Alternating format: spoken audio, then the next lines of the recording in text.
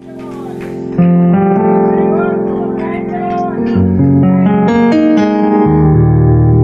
us pray. Father, here we are standing before you now. And first of all, we just say thank you, Lord. You're an awesome God, Lord.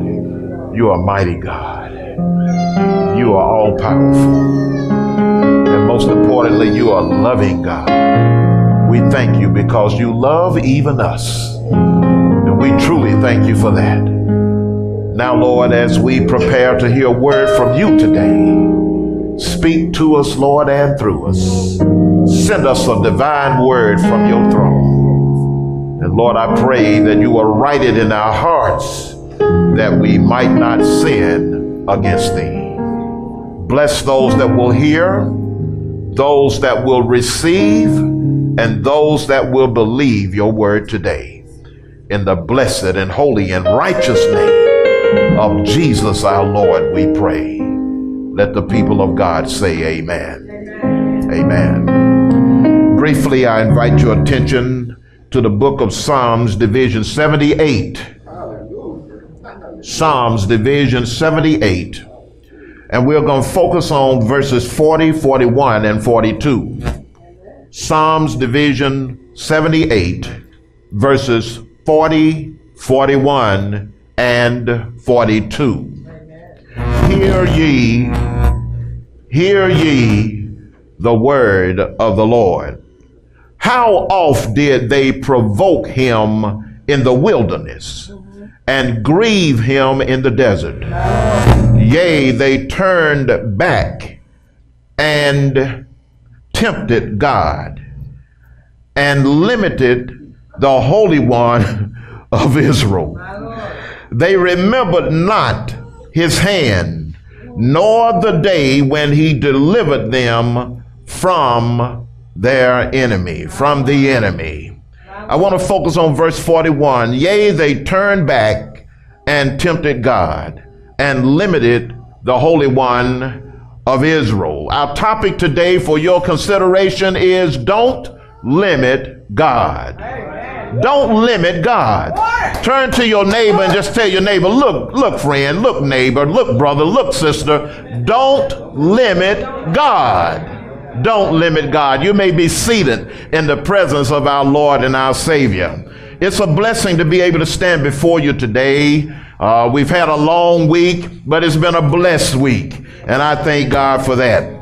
As we look at the book of Psalms, Division 78, eh, eh, there's some question. Let's see if we can get this microphone to cooperate with us here.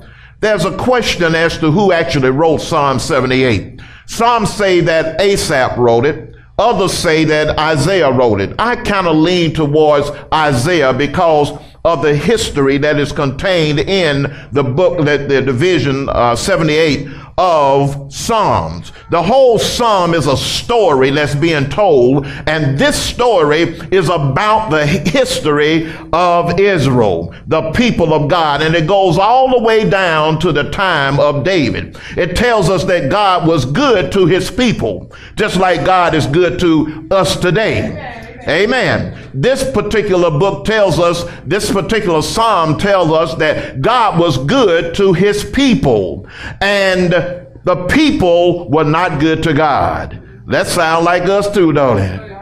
Oh, I, I knew I wouldn't get very many amens to that. Amen. But it's the truth. It's the truth. And sometimes the truth hurts. Amen. And if it hits you today, just say ouch and amen. Amen. Ouch and amen.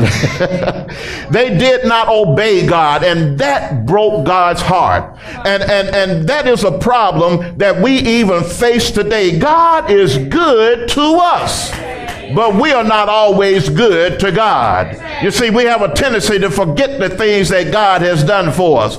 How, how, He blessed us when we were sick, how He gave us a job when we were unemployed, how He provided a ride for us when we were on our feet. We forget all of those things after we get the blessing, and then we begin to disappoint God. It's still true today, and it was true in those days as well. In Psalm 78, we find that this particular psalm is broken down into four divisions. The first part of it is calling the people's attention back to God. Amen. Amen. And you know, that's what we need to do today. This world, this United States of America and, and the world at broad, we need to be called back to God. We've strayed away. We've gotten away from the principles and precepts of the Lord, and, and, and we have even turned back to things that we had said we were going to let go. All right. The next portion of this particular division lets us know about the history of Israel. It tells us about how God brought them out of Egypt and, and how he took them through the Red Sea and, and, and through the desert and brought them to Canaan. And, and, and it lets us know that God did it for them and he can do it for us.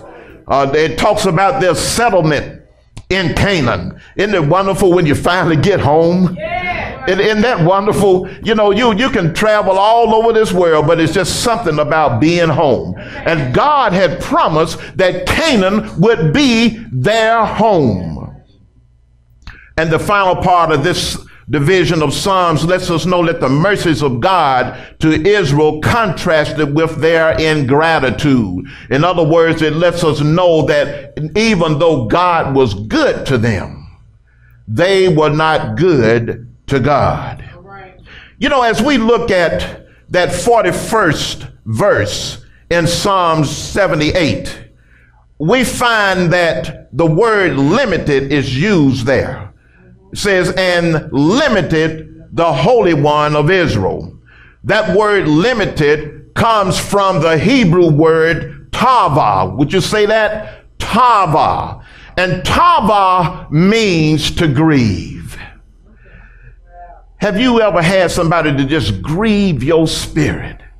You know, eh, they may have done something to you, or you might see that they are going in the wrong direction. No matter how much you try to help them to see the error of their ways. And God, as He looked at Israel, He became grieved over Israel because they chose to disobey God rather than to obey and serve Him.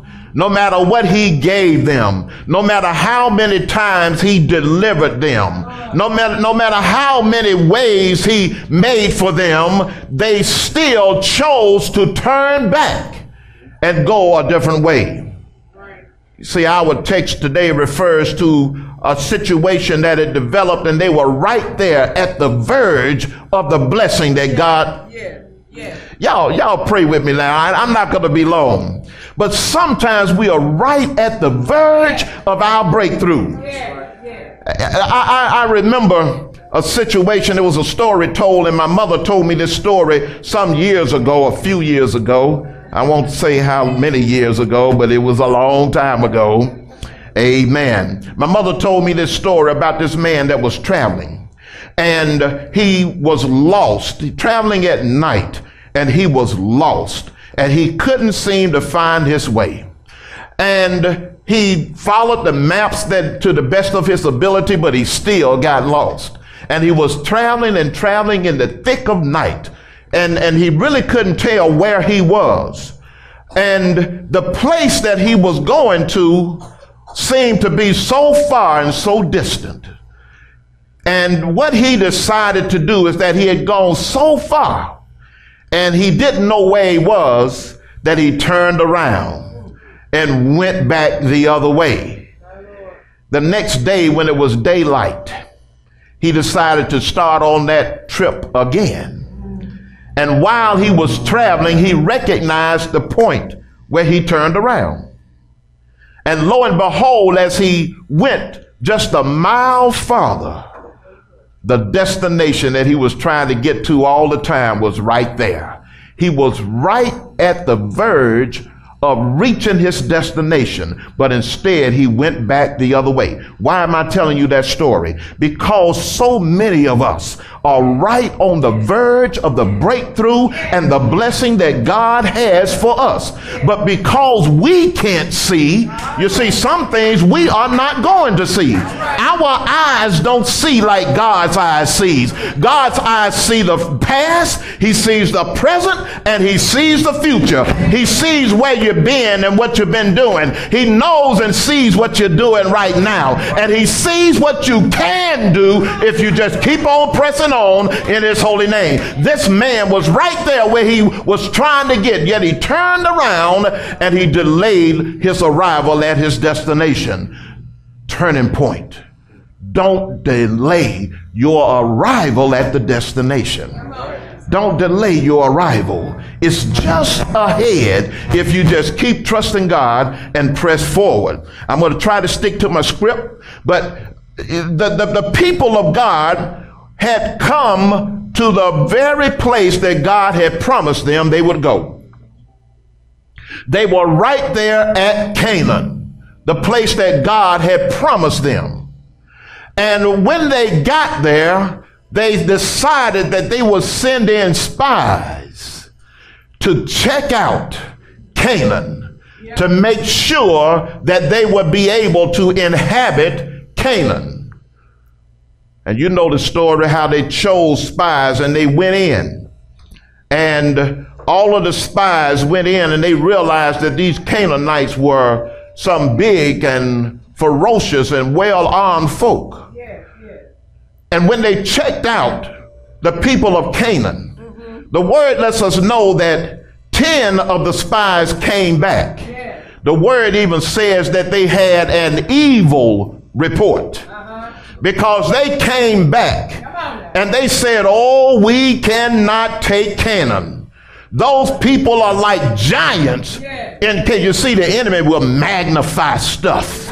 He will magnify stuff in your sight when you're trusting your own flesh and you're trusting your own vision and you're trusting your own way of thinking and, and working things out, the enemy will magnify the molehills that are in front of you and make them seem like they are great, gigantic mountains. And they came back and they came back with an evil report. But let me tell you what they also did. They didn't only bring back a report that was negative, but then they began to stir up rumors among the people of God, and they came and made them turn against Moses and his leaders.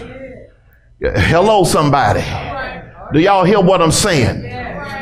And uh, there were two spies, however, that went over. Isn't it amazing how people can look at a situation and depend, depending on the eyes that they are looking through, they come back with a different report.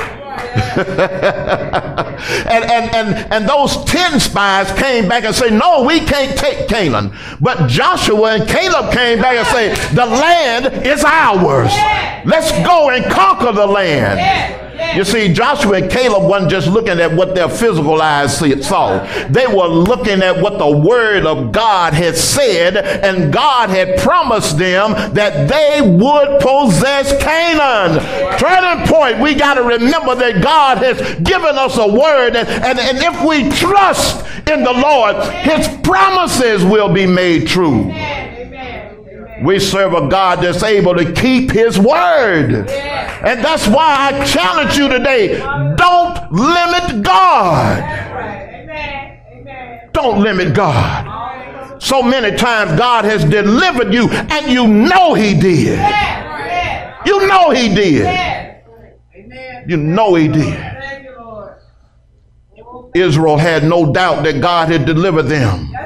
They were in Egypt and God sent 10 plagues and, and convinced Pharaoh that he better let my people go. They were in the desert and didn't have anything to eat. God fed, fed them with manna from heaven, led them by a fire at night and a pillar of cloud during the day. Their clothes didn't even wear out. You can buy something now and it be tore up tomorrow. Think about it 40 years and their clothes didn't wear out. Then, when they made their way to Canaan, when they were there at the brink of their breakthrough, they decided that they would not trust God, the one that had done all of those things for them. They decided they would not trust him. 1 Corinthians 10 9 through 11 says, Neither let us tempt Christ, as some of them also tempted and were destroyed of serpents. Neither murmur ye, as some of them also murmured and were destroyed of the destroyer. Now all these happen unto them for examples, and they are written of for our admonition, upon whom the ends of the world are come.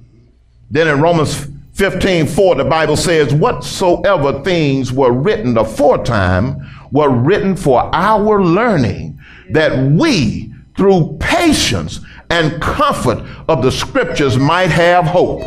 I want to tell you today not, you, you will not face anything in this life that the Word of God does not address. I dare you to find something that you're going through that God's word has not already dealt with. And we check the word out because in the word we find hope. I know that sometimes it, it seems like all hope is lost. And, and that's all right. But don't give up your faith and trust in God. But continue to trust Him to work it out. And I guarantee you, my God will.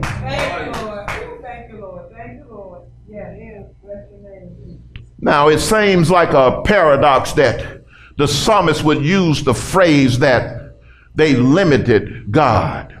How in the world can we limit God? God is awesome. God is all powerful. God is all knowing. God is omnipresent. He's everywhere. God is, is, is greater than anything that we can ever be. But yet we have the capability of limiting God. How can that be? Oh, help us, Holy Ghost. You see, God made us a free agent.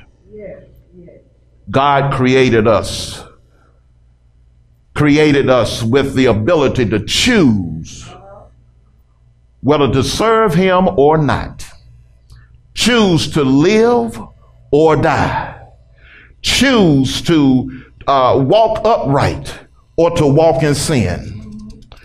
Isaiah 119 lets us know that we must be willing and obedient. Revelation 22 17 lets us know that the word says, Whosoever will. See, God doesn't do anything against our will. Are y'all hearing me today? God wants us to live holy and He wants us to live righteous, but He ain't gonna make us do nothing. It's up to us.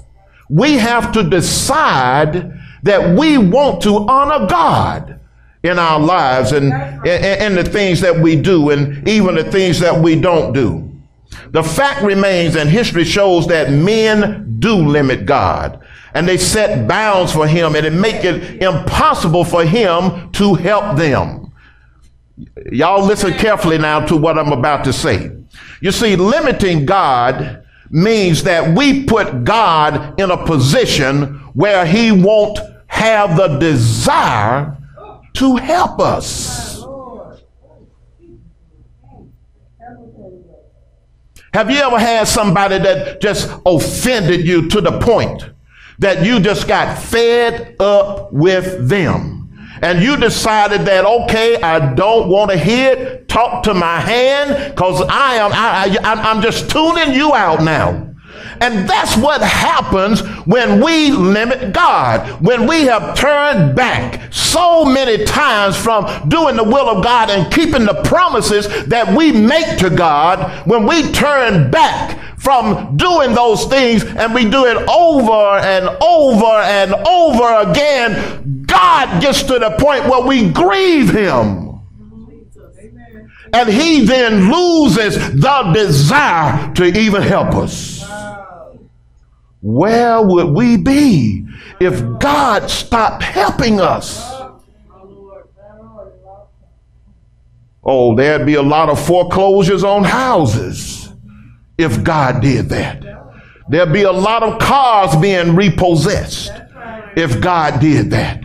But not only that, there'd be a lot of folk that are not in the hospital that will be in the hospital because God decided to take his hand off your body.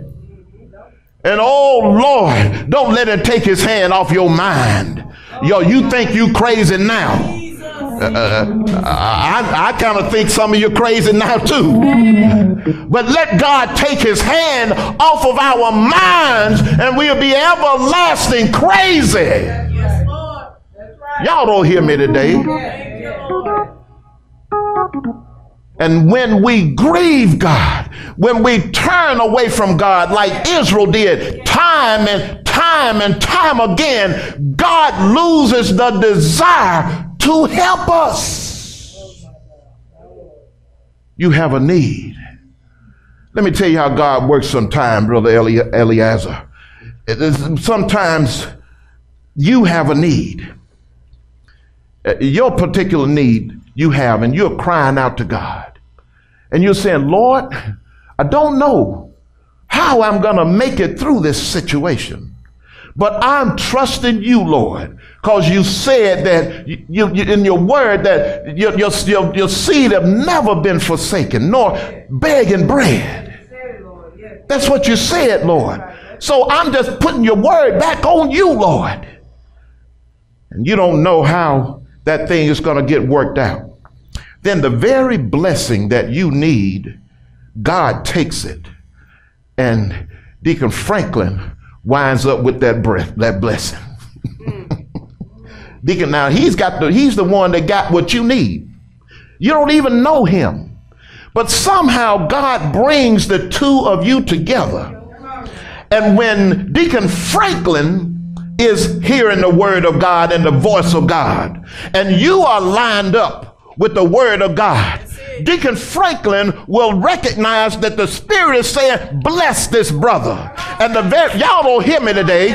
And the very thing that you need, Deacon Franklin provides it because both of you are joined together in the Spirit of God. That's the way the body of Christ is supposed to work.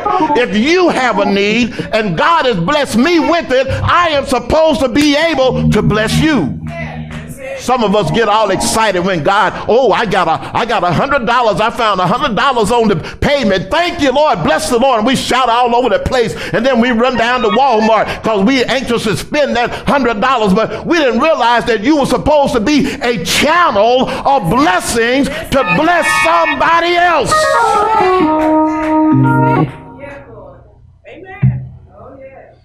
You got a job.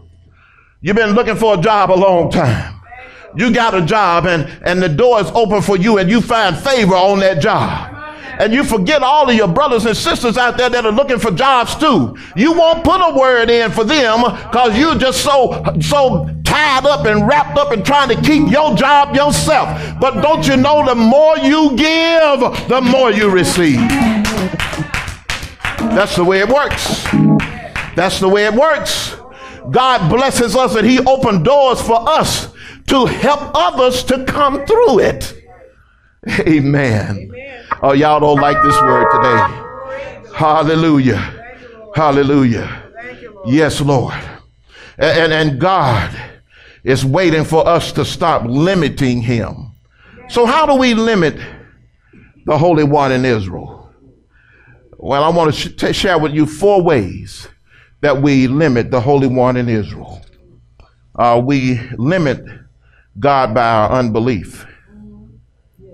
I talked about in Numbers 14 how the spies brought back that account. It was an evil account.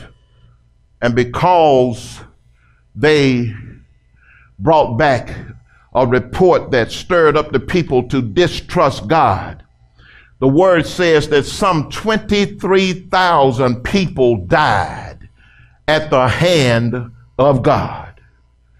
God got fed up with him, not trusting him. Look, I brought you out of Egypt. Look, I fed you in the desert. Look, I brought you through the Red Sea. And, and, and this is what I get I'm told you that I'm going to give you Canaan and you're doubting what I said.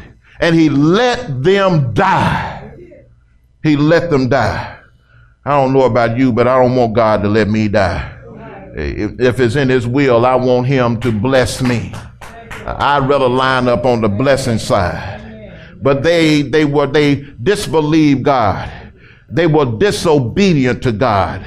Uh, Hebrews 4, 1 through 11 lets us know that God has set out to take Israel into the promised land, but the majority of these people disobeyed the Lord and rejected his promise and rebelled against him. The next thing they did was not only were they disobedient, but they rejected him. John 1 10 through 12 lets us know that they crucified our Lord. They nailed him to a tree. They speared him in the side, put a crown of thorns on his head, buried him in a borrowed tomb. They rejected Jesus. And when we reject the Son of God, when we reject salvation through the Son, the Lamb of God, we limit God. For Jesus himself said that I am the way, and no man comes to the Father but by me. If you reject Jesus, you are limiting God's ability to save you. Y'all hear me well. James 4, 2 and 3 lets us know that, that they limit God by neg- neg- negligence, that they limit God simply because they won't ask. James said, You have not because you what? Because you ask not. Because you ask not. And you must ask with faith, not wavering but with all trust and belief and faith in the power of God, not only to hear your prayer, but to answer your prayer. And when we won't ask God, we are limiting God's ability to help us. And Revelation 3:14 through 17 tells us something else. It tells us about a church named Laodicea. The Laodiceans were a church that did well as far as man's standards were concerned. And they felt that because they had nice chariots to ride in and nice uh, uh, uh, abodes to live in, that they had the finest things of life in that day and time, that they didn't need anything. They measured their spiritual worth and value with their material things. That's not like us today, is it? I pray that it's not. And and they they were a church that did not understand that they were spiritually bankrupt. God even said that I can't stand you, Laodicea, because you are not hot and you are not cold. You are lukewarm. Yeah, let me tell you about a lukewarm church. Come on.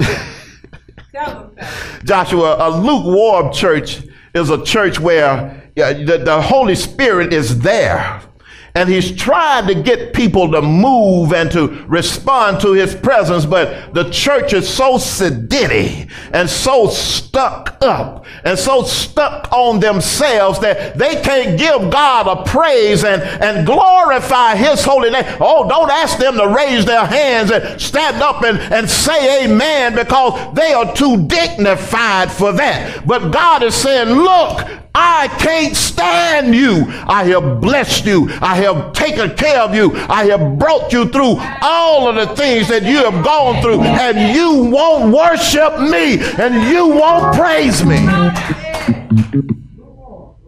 Said, because you are lukewarm, I'm going to spew you out of my mouth. Spew you out. And when we are lukewarm, we limit God's ability to help us. You know, I've decided and made up my mind that I will not limit God. I will not limit God. You see, God is able. Anybody know that he's an able God? If God tells me that he's going to move a mountain, I am just going to trust that that mountain shall be removed. And some of us got mountains right now that we are up against, that we are facing and because we won't trust God, that mountain continues to stand right there. But I invite you to join me today and trust our able God and believe that no matter what the situation, no matter what the burden is that you're carrying, no matter what you're going through, that our God is able. Can I get at least one witness today? Our God is able. He's able to heal. He's able to deliver. He's able to make a way. He's able to bless you on that job. He's able to bless you in whatever way you need. And most important, He's able to take a wretch like me and a wretch like you and save us, clean us up. My God is able. My God is able. And because I know He's an able God, you know, God doesn't have to do another thing for me because He's already done more than He had to do. When I think about that cross where He allowed His Son to be crucified and He died and He was buried for my sins, not for anything that He had done, but for my sins.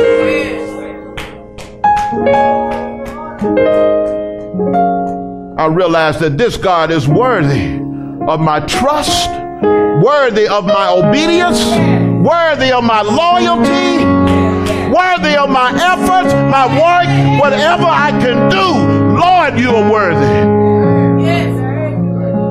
And the wonderful thing about it is that no matter how we labor and how we strive and how we, we, we seek to, to, to serve the Lord, we can't do enough to justify what he did for us. We're all like filthy rags when we stand before God. But he has a Holy Ghost laundromat. he has a Holy Ghost laundromat where he can clean us up and we've got to go through all the cycles. Go through the wash cycle. Go through the rinse cycle. Wash in the blood of the Lamb. Agitated by the Holy Ghost. Oh, yeah, see, if you don't agitate, that dirt is just going to stay there. That's why God has to purge us and, and He allows trials and tests to come our way. He's agitating our spirit so that those impurities and those impediments will come out of our spirit. He's working us. He's working us, working it out. And then, I don't know many of us that would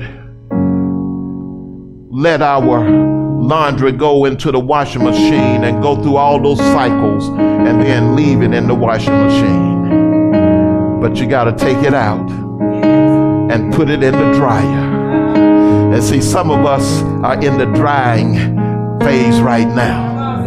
See, when it dries, when something dries, that, that means that all of the other things are, are, are being evaporated out of there, the water, the, the moisture, and all of that. And sometimes we go through dry spells. David knew what he was talking about when he was talking about how it seemed like he couldn't hear God's voice and he was in a dry place in his relationship with God and he was longing for the voice of God, but it seemed like God wasn't talking to him. God wouldn't say anything. He was in the dryer, and I want you to know know that God will put us in the dryer, and, and in that time, we've got to lean and depend on the faith and the trust that we have through His Word. But oh, when that buzzer rings and you finish that cycle, uh, any y'all gonna stay in the drive till the cycle finishes? Uh, I, I, I, is anybody gonna stay in until the cycle finishes?